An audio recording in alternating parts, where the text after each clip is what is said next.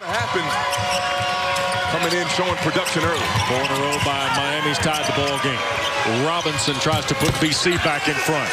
It's in rotation. The help side has to shift with the basketball to the midline, and guards are going to have to put their bodies on big players. Offensively. Now he had a 4-20 night. But as they say, the season's not over yet, right? Here's Huell. He's had a big first half, and it's all been right around the rim. And in the U, Jason. Well, there was a mismatch inside. Ky Bowman in transition picked up Huell. Didn't get it initially, but speed kills, and Chris Lykes. Chris Lykes attacking behind the back. Feed to Mitchell. And he'll work inside against Lawrence. Bounce pass, catch, layup, good for Jerome Robinson turnovers a game, has had high games of seven. But you live with that because he has the right intention of playing the right way. Walker trying to go to Lykes, taking away Bowman. He's got Chatman with him, and he'll go all the way to the basket and draw the foul. And West, that's why you live with it. Couldn't finish it. Here's Robinson beating Lawrence in the score.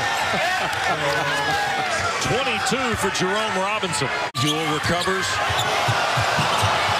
Here's Lonnie Walker slashing in and score.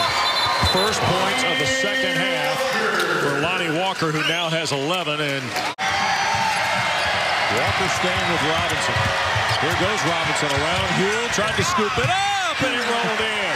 And Jerome Robinson is hurt. Working against Robinson.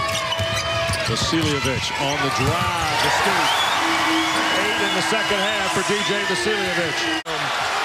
For Boston College. Walker with five. Four. Shoots for the win.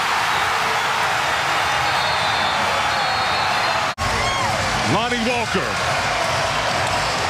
takes the screen, creates space, perfect jump shot, knocks it down, and points to his arm and says, I have ice water in my veins.